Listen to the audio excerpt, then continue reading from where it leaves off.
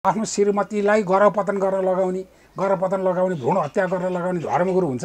भित्र पोकामा चाहिँ नि म चाहिँ नि त्यो कन्नमहरू रहेछ होइन? कन्नमहरू रहेछ। त्यो भेटेपछि प्रश्न उठाएपछि प्रश्न उठाएपछि मसँग बटारिनु भएको सुटुक्क यसरी चाहिँ अत्तो पत्तो छैन उहाँले डिभोर्स दिनुभएको छ। तपाईँ त पूर्व सिडिओ मान्छे। अब भुँड हत्यामा उनी जेल जानुपर्छ या पर्दैन? यदि हो भने चाहिँ। अब भ्रूण हत्यामा भ्रूण हत्यामा पनि हो वास्तवमा भ्रूण हत्यामा पनि कारवाही त हुन्छ। चाहिँ नि म चाहिँ नि, आ, म, डिभोर्स हालेको पनि स्वीकार्नुभयो सुटुक्क हालेको त्यसपछि आवर्षण गराएको त्यो पनि स्वीकार्नुभयो एक किसिमले चाहिँ त्यो कन्यामको कुरा पनि अप्रत्यक्ष तपाईँहरूले स्वीकार्नुभयो आमा बाउको सेवा गर्नको लागि श्रीमतीलाई त्यागेको भनिरहनु आफू बच्नलाई हो के हो बच्नलाई बच्नलाई अनि त्यो कुरा उठाएको छ त त्यो प्रश्न उठाएको छ मलाई। यस्ता ढोङ्गीहरू चाहिँ मात्रै भित्रभित्र चाहिँ म चाहिँ एउटा अपराधी प्रवृत्तिका। दर्शकबिन पछिल्लो समय जो धर्मगुरुको नाममा एकदमै चर्चामा आइरहेका विषयमा केन्द्रित रहेर कुराकानी गर्न छौँ जो शीतल कृष्ण आचार्य भनिने व्यक्ति र उनकी धर्मपत्नी स्वीकृति पौडेल बिच यति बेला घरायसी सम्बन्ध बिग्रिरहेको छ। आज यसै विषयमा केन्द्रित रहेर हामीसँग कुराकानी गर्नको लागि राजनैतिक विश्लेषक आनन्दराम पौडेल हुनुहुन्छ। सर स्वागत छ धन्यवाद। नमस्कार। तपाईँ यो जो शीतल कृष्ण महाराज भनिएका एकजना गुरु छन् नि हो उहाँलाई कसरी चिन्नुहुन्छ सर? होइन उहाँलाई अब सबैले चिनेको कस्तो भन्नलाई भने धर्मगुरुको रूपमा चिनेको उहाँ। उहाँको वेशभूषा नै हेर्नु न पहिलेदेखि नै।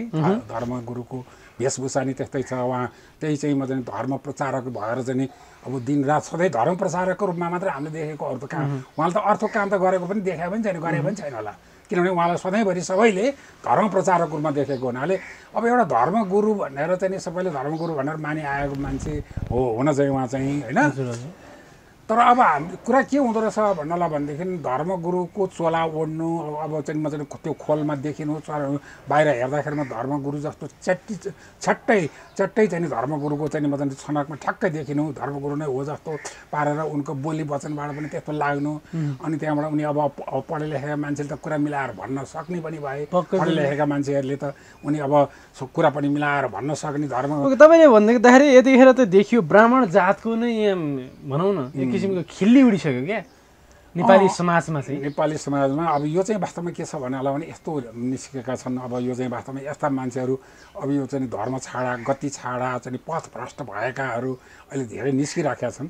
तपाईँको चाहिँ म चाहिँ आजभन्दा चार पाँच वर्ष अगाडि चाहिँ उहाँ कृष्ण गिरी त चाहिँ म चाहिँ के अरे ऊ भनिने के अरे के अरे हाम्रो तरतिरको होइन सिद्ध बाबा भन्ने। सिद्ध बाबा। भन्ने कृष्ण गिरीको चाहिँ देखिहाल्नुभयो उहाँ पनि उहाँ चाहिँ ती महिलाहरूसँग अलिकति सुन्दरीहरूलाई चाहिँ उहाँले त चाहिँ म चाहिँ मे- मेसेजहरू पठाएको गरेको पनि हामीले हेऱ्यौँ होइन? मेसेजहरू पठाएको त्यो मेसेजै हेऱ्यौँ हामीले। अदालतमा पनि पेस हो त्यो मेसेज र त्यो त्यसरी चाहिँ वास्तवमा त्यस्ता उहाँको पनि अब त्यस्तै देखियो। अब यस्तो चाहिँ म चाहिँ अब ए हाम्रा चाहिँ धर्मगुरुहरू धेरै चाहिँ वास्तवमा बाहिर हेर्दाखेरि सुन्दर सुन्दर उपदेश दिने धर्मगुरुको चाहिँ उसमा चाहिँ खोलमा देखिने धर्मगुरुको चाहिँ पुरा चाहिँ डेन्टिङ पेन्टिङ सबै चाहिँ धर्मगुरु हो भनी छनक दिने ठ्याक्कै हो भन्ने उनका उपदेश पनि छ। उनीहरू पढे लेखेका पनि छन् आसाराम बापू। होइन त्यस्तै अब तपाईँ चाहिँ अर्को अर्को एउटा चाहिँ नि म चाहिँ अझ त्योभन्दा अझ चर्को ठग धुर्त अर्को चाहिँ नि म चाहिँ नित्यानन्द नित्यानन्द होइन त्यस्ता चाहिँ राम रहिम। अब यस्ता भनौँ न होइन महाराधे अब यस्ता किसिमका चाहिँ अब चाहिँ मतलब के छ भन्नलाई भने अब ठगहरू नै धुर्तहरू नै धर्मगुरुको चाहिँ खोल ओढेर उनीहरू उपदेश पनि दिने शास्त्रको चाहिँ पनि के शास्त्रका किताब पनि अलिअलि अध्ययन गरेर आएका उनीहरू शास्त्रको चाहिँ मतलब आधार सन्दर्भ प्रसङ्गहरू पनि राखेर पनि बोल्ने अनि त्यहाँबाट ठ्याक्कै मिलाएर बोल्न पनि सिपालु तर आचरण चरित्र व्यवहार त अपराधीको भन्दा बढ्ता चाहिँ नि देखियो देखियो नि त राम रविको राइमको के देखियो तपाईँको आसाराम बाबुको के देखियो नित्यानन्दको के देखियो? त्यस्तै शीतल कृष्ण पनि रहेछन्। अब शीतल कृष्णको चाहिँ बारेमा अब शीतल कृष्णको अहिले कुरा उठ्यो शीतल कृष्णको। अहिले भर्खर उठेको कुरामा जाउँ। अहिले भर्खर शीतल कृष्णको कुरा उठ्यो र चाहिँ नि श्रीमती आएर चाहिँ मिडियामा आएपछि मात्रै हामीले थाहा पायौँ भनौँ न। मिडियामा आएर उनले भनिन्। उनले भनेको कुराहरू चाहिँ वास्तवमा भनिरहन्। अब मिडियामा आएर हामीले सुनिरह्यौँ उनको कुरा नआउन्जेलसम्म। शीतल कृष्णको चाहिँ उनका कुरा नआउन्जेलसम्म हामी के हो के हो अब अब गुरुआमा त बोलिरहेछन् गुरु गुरुआमा त बोलिरहेछन् ऊ बोलेको छैन भनेर हामी अलिकति अल्मलिएका थियौँ। तर जब अस्ति अस्तिको दिनमा चाहिँ जब शीतल कृष्ण महाराज ती धर्मगुरु उहाँले जब बोल्नुभयो बोल्दाखेरिमा हामी चाहिँ नि छक्क पऱ्यौँ। किनभने श्रीमतीले जे जे चाहिँ उहाँलाई भनेका थिइन् उहाँलाई आरोप लगाएका थिइन् उनले मलाई यो अत्याचार गरे भन्ने कुरा त्यो कुरा सबै स्वीकारेका छन् उनले। जस्तो एउटा कुरा भनौँ न। मलाई मलाई एबोर्सन गर्न लगाइयो। आवर्षण गर्न लगाइयो मेरो चाहिँ भ्रूण हत्या गर्न लगाइयो मेरो चाहिँ म चाहिँ गरपतन गर्न लगाइयो भनेर उहाँले भन् भनेको कुरालाई पनि उहाँले स्वीकार्नु भएको छ। भनौँ न त्यो पनि उहाँले चाहिँ गर्न लगाएको हो रहेछ भन्ने कुरा देखियो। त्यो आरोप थियो उनको। अब एउटा धर्मगुरुले आफ्नो श्रीमतीलाई गरपतन गर्न लगाउने गरपतन लगाउने भ्रूण हत्या गर्न लगाउने धर्मगुरु हुन्छ। एउटा चाहिँ अरू एउटा कुरा त्यो दोस्रो कुरा दोस्रो कुरा उहाँले चाहिँ मतलब के छ भन्नलाई भने श्रीमानको श्री मैले चाहिँ प्रश्न उठाएपछि मसँग चाहिँ बाउठिनु भएको मैले प्रश्न उठाएँ। उहाँको चाहिँ मतलब त्यो भित्र पोकामा चाहिँ म चाहिँ त्यो कन्नमहरू रहेछ होइन कन्नमहरू रहेछ। त्यो भेटेपछि प्रश्न उठाएपछि प्रश्न उठाएपछि मसँग बटारिनु भएको बाउठिनु भएको त्यहाँदेखि बाउठिनु भएको। हुँदा हुँदा उहाँ- उहाँले मलाई उहाँले चाहिँ मलाई चाहिँ डिभोर्सै दिइसक्नु भएछ। त्यो पनि अरूबाट थाहा पाएँ दुई तिन दिनपछि अरूबाट थाहा पाएँ सुटुक्क यसरी चाहिँ अत्तो पत्तो छैन उहाँले डिभोर्स दिनुभएछ भनेर उहाँ त्यसपछि त्यसपछि यहाँ चाहिँ धार्मिक संस्थाहरू धार्मिक चाहिँ सभाहरूमा धार्मिक अरू गुरुहरूमा कहाँ चाहिँ उहाँ धाउनु भएको छ गुरुआमा मलाई यो अत्याचार भयो भनेर।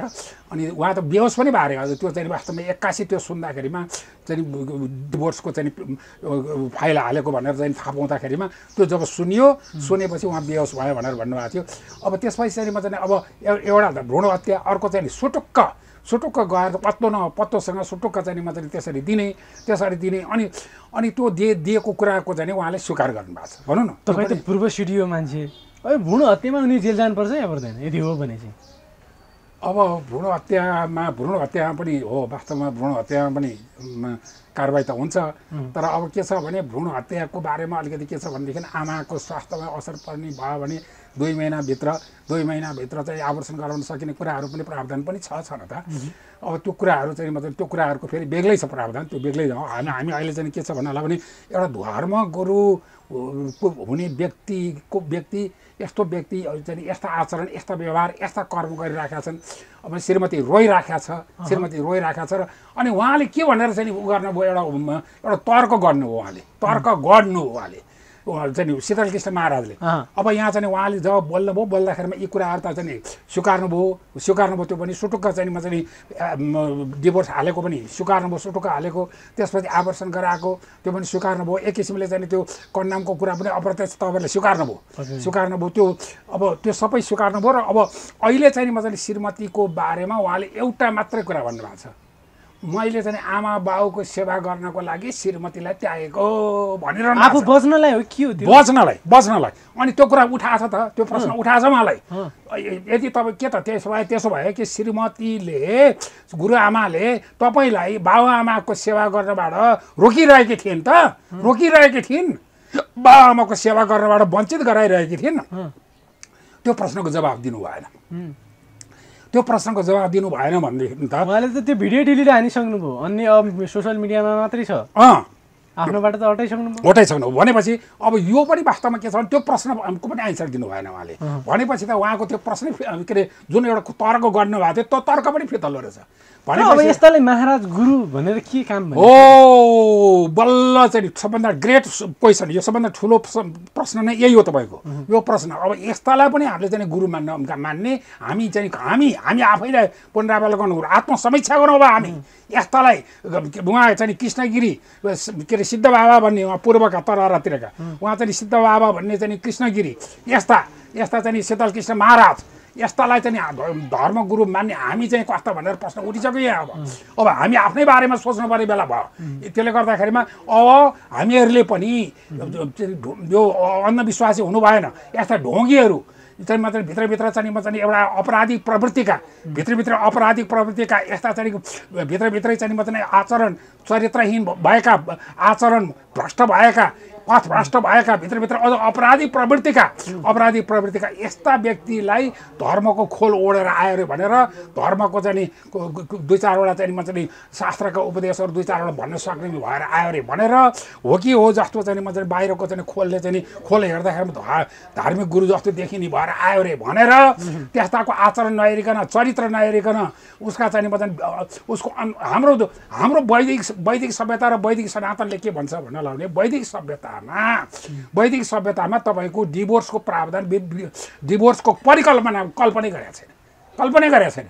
यदि यदि श्रीमती श्रीमती कर्म आचरण व्यवहार र चरित्रबाट पतित भइसके भइसकेको देखियो भनेदेखि समाजले नै त्यसलाई तिरस्कार गर्छ। समाजले नै तिरस्कार गर्ने चलन छ वैदिक सभ्यतामा। त्यसलाई समाजले नै त्याज्य भन्छ समाजले त्यो समाजमा टिक्न भन्न सक्दैन।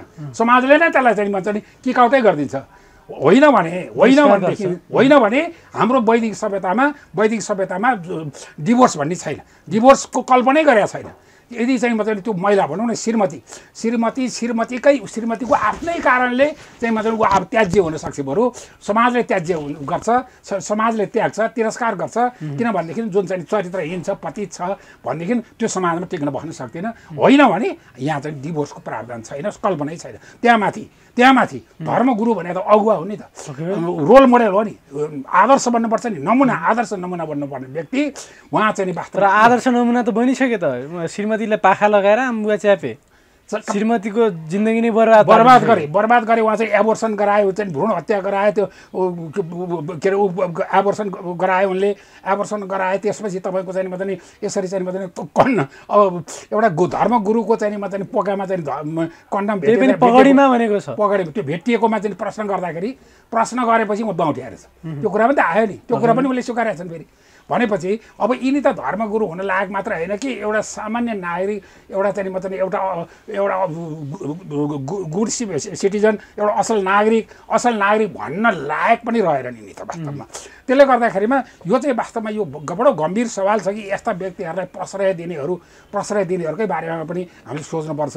यस्ताको पछि लाग्ने यस्तो कुहिएका मान्छेहरूलाई चाहिँ हामीले गुरु मान्ने अगुवा मान्ने मान्ने, नि, कुहिसकेका खत्तम हुन्। भइसकेका। धेरै- देख्यो त। उसले बनाइसकेका त त्यो कुरा कुनै पनि खण्डन गर्न सकेन नि।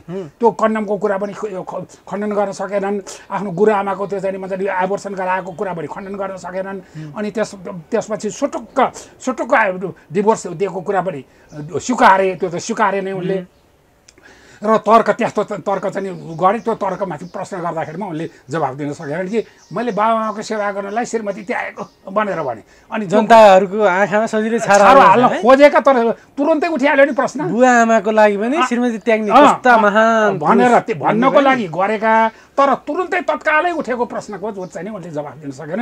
उनले के प्रश्न के उठाएको थियो तत्कालै भने ए होइन के त गुरुआमाले तपाईँलाई बाबाआमाको सेवा गर्न रोकिराखेका थिइन्? सेवा गर्नबाट वञ्चित गराएको हो भन्ने प्रश्नको जवाब दिएन नि त उनले त्यसले गर्दाखेरिमा यो यो मनगढन्त्य तर्क हो भनेर बुझ्नुपर्छ र चाहिँ त्यो यो शीतल कृष्ण महाराज जस्ता त्यस्ता अरू पनि होलान् यस्ता ढोङ्गी पाखण्डी यस्ता आडम्बरी यस्ता चाहिँ भित्रभित्र कुहिएका चरित्रहीन पतित यस्ता खालकाहरूलाई हामीले अब चाहिँ छानी छानी तिरस्कार अभियान चलाउँ